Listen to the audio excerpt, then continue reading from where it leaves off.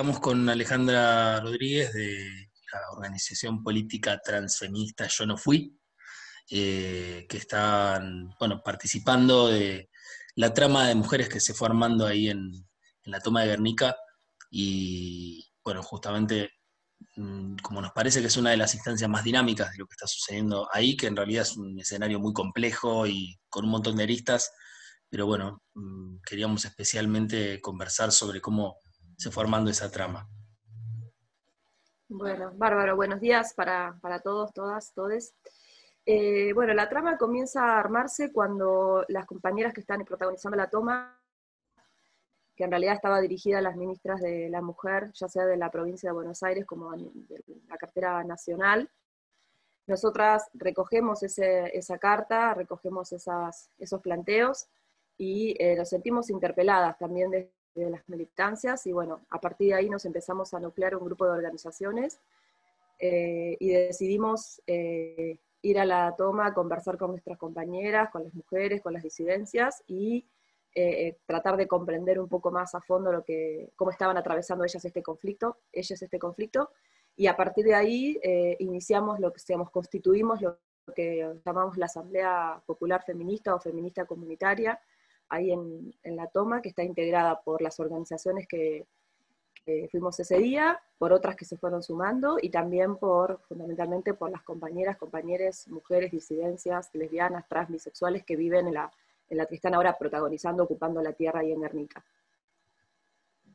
O sea que así se arma la trama y, y, lo primero que se decide hacer es eh, escribir un documento donde nosotros en ese documento de alguna manera planteamos cuál es eh, la perspectiva que el feminismo eh, puede ponerle a este conflicto, en el sentido de que para nosotras no se trata únicamente de luchar por la tierra, porque luchar por un pedazo de tierra en un punto no cuestiona la lógica de la propiedad privada.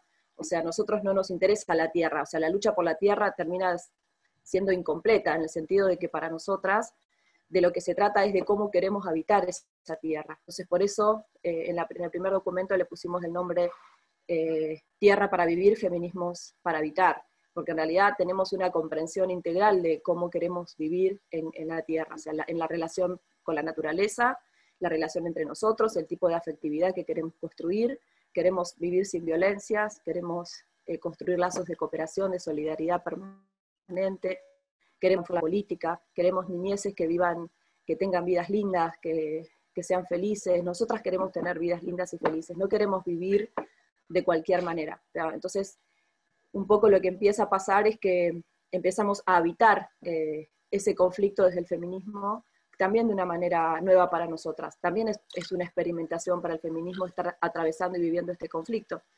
Eh, ahí también hay una impronta que estamos aportando, descubriendo y construyendo en la Eso también es, algo muy, muy potente. No sé si, si podría poner palabras, pero la sensación de estar construyendo un modo de transitar un conflicto desde el feminismo y con compañeras que vienen haciendo un recorrido de activismo de, mucho compromiso y que nos, encontramos ahora juntas pensando y, activando esto es algo, es una experiencia muy, muy vital, digamos, muy, muy fuerte.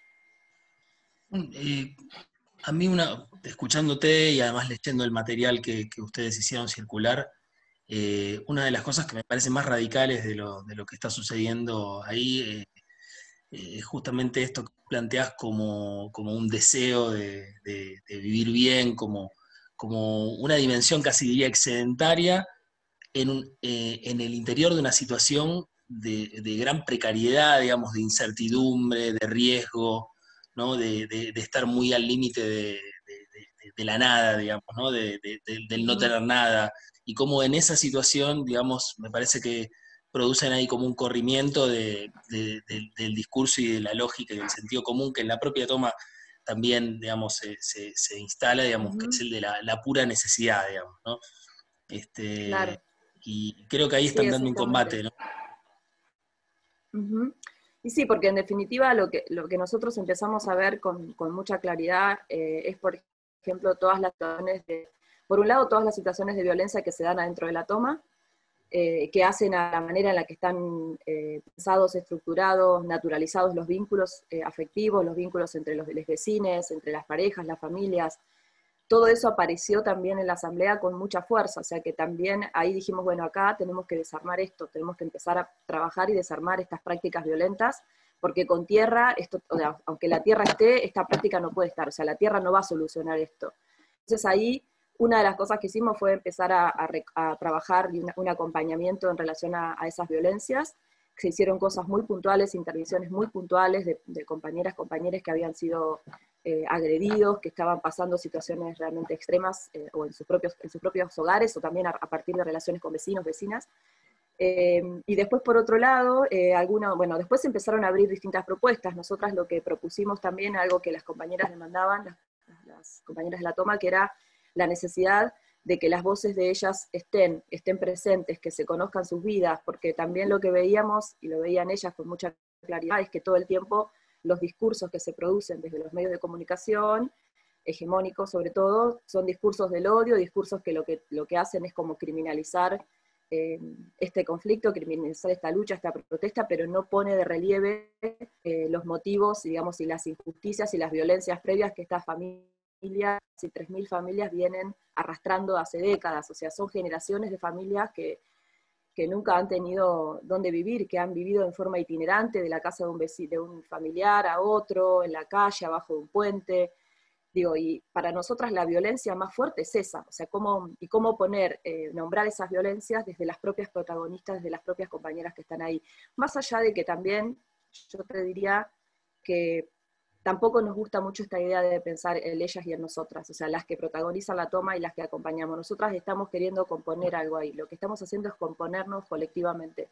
Eh, esto, esta es una composición, porque esas violencias también atraviesan nuestras vidas, no es que es algo que está fuera de nosotros, de repente las compañeras que tenemos hoy un lugar donde vivir y demás, las violencias también nos atraviesan, eh, y bueno, y a partir de esta necesidad que te comentaba, decidimos eh, hacer un, un libro, un librito con las voces de ellas, eh, como una manera también de amplificarlas, o sea, tratamos de construir como una caja de resonancia para, para esas voces, y bueno, y eso todo también en la urgencia, porque el, el, el, desalojo estaba previsto para el 23, o sea que teníamos re poco tiempo, y en poco tiempo logramos estructurar, estructurar fuerzas, organizarlas y hacer diferentes cosas, digamos. Una de esas fue esta publicación. ¿Y con qué otras organizaciones están articulando?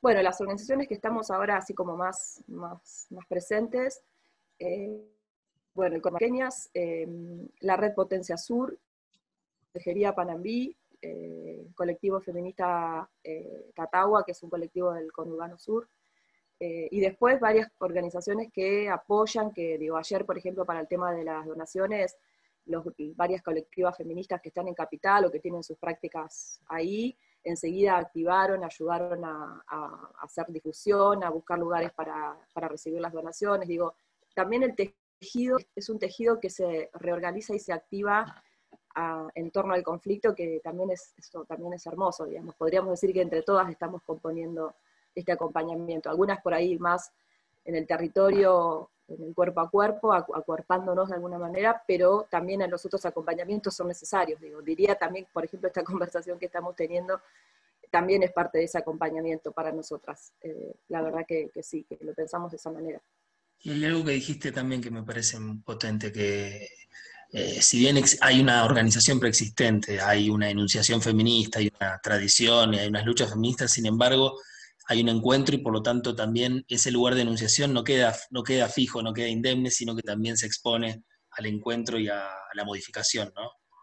Absolutamente. Sí, es que yo creo que si hay algo que el feminismo aporta también es esta, esta posibilidad de, pensar que la política la tenemos que reinventar todo el tiempo. No tenemos una idea clausurada, ni nosotras mismas dentro del feminismo también tenemos discusiones enormes entre nosotras, tenemos diferencias, eh, nos vamos nombrando, renombrando, nosotras no podemos pensar hoy un feminismo solamente de mujeres, digamos, para nosotros es una idea que ya quedó, quedó muy atrás.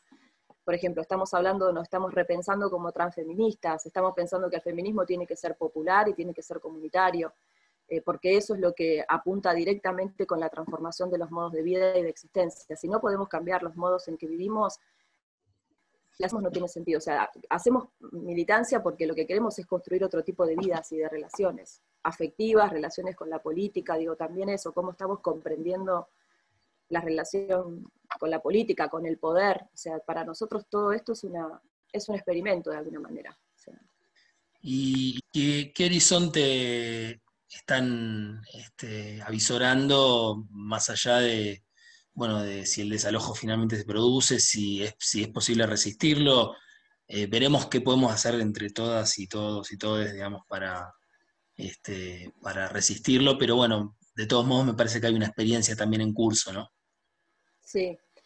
Bueno, primero yo creo que siempre el tránsito por un conflicto es la posibilidad de construir un colectivo que es ese colectivo que está transitando el conflicto. O sea, como que el, conflicto también es una suerte de parto de un, de un, colectivo. Y en este caso yo creo que nosotras estamos, que para nosotras eh, eh, el ojo es muy probable que se produzca, pero para nosotras ya, eh, ya hay una resistencia activa, ya hay, una, hay una, una, lucha ganada, que es esa lucha, es este encuentro que nos permitió reconocernos y que nos permite estar juntas pensando esta, este conflicto. Posibilidades de, de, como horizonte de seguir fortaleciendo nuestras organizaciones, nuestras prácticas y no abandonar nunca eh, la idea de que queremos realmente transformar los modos de existencia y de vida y que el acceso a la tierra, el acceso al hábitat justo es una lucha que el feminismo tiene que abrazar, eh, digamos, con muchísima fuerza. Nosotras estamos muy, tenemos mucha preocupación, eh, mucho dolor, por las imágenes, las, realidades, lo que se vive en la toma es realmente doloroso, hay una precariedad muy grande, una necesidad muy grande, pero también tenemos una enorme vitalidad, tenemos... Eh, estamos contentas, estamos juntas, nos tenemos, contamos con nosotras, nos sentimos fuertes, eh, estamos dispuestas a transitar y acompañar a eh, digamos, todo este conflicto hasta que se produzca lo que se tiene que producir, pero para nosotras eh, la construcción continúa, o sea, es un, es un tránsito que después va a tener su continuidad y ya estamos trabajando en esa continuidad. Bueno, gracias Alejandra. No, por favor, gracias a vos por, el espacio y por también acompañarnos desde, desde el programa, bueno, y también desde la editorial. La verdad que te lo agradecemos mucho en nombre de, todas las compañeras que estamos en la asamblea. Bueno, un abrazo enorme. Un abrazo grande. Adiós, buen día. Buenas, eh, buen día. Mi nombre es Camila. Eh, soy compa, vecina, delegada, madre, hija, nieta eh, sobrina. Estoy, estoy ocupando tierras de la recuperación de los cuatro barrios en Guernica. Bueno, estamos acá hace más o menos dos meses intentando y organizando el barrio eh, con asambleas espontáneas y, y de que estoy acá más o menos hace un mes más o menos surgió la surgió la necesidad de generar y llamar a las compas eh, feministas, compas independientes, compas de agrupaciones, de colectivos, de grupos eh, de distintos movimientos de mujeres para eh, crear y generar un, acompañamiento a todas las, las vecinas, madres solteras, trans, lesbianas,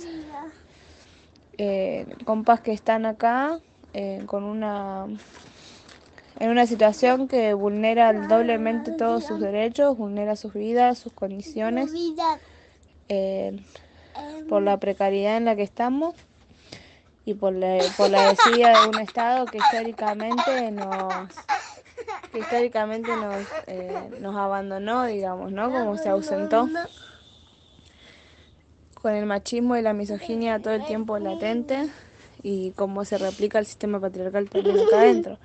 Entonces eh, llamamos y, convocamos a, organizaciones de mujeres para poder organizar asambleas feministas, que ya van dos, dos asambleas mujeres.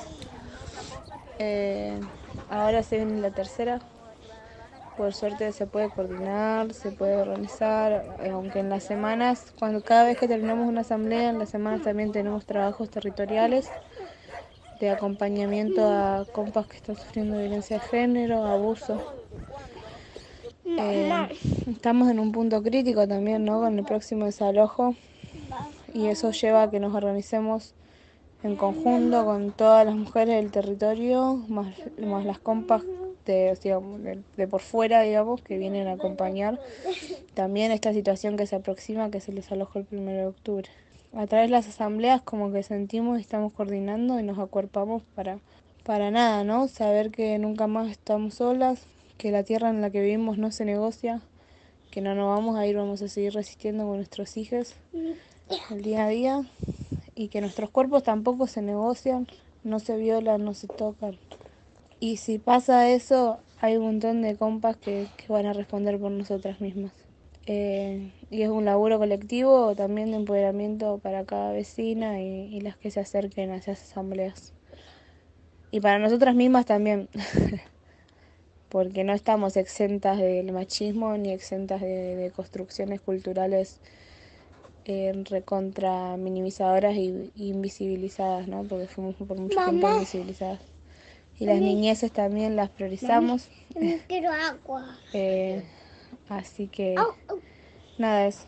Ahora mi compa Sime va a decir unas palabras. Mm, bueno, mi nombre es Sime, Simena, yo soy amiga de Cami. En principio llegué acá al barrio para acompañarla a ella con, bueno, en principio su, su proyecto de, construir su casa acá en el terreno que, estamos ocupando y también sumándome al proyecto de espacio comunitario que queremos realizar en un futuro. Em, bueno, a medida que iban pasando los días, em, acompañándola a ella, empecé a ver eh, las necesidades que, que recién te comentaba Cami.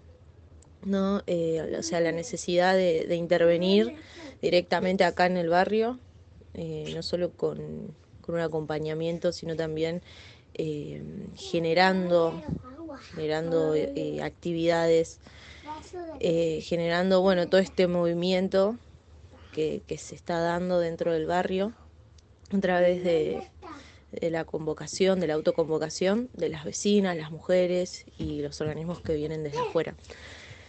Em, bueno, también tratando de, que adentro del barrio intervengan medios eh, de comunicación y, demás organismos que puedan con sus herramientas ayudarnos a visibilizar todo esto que está pasando.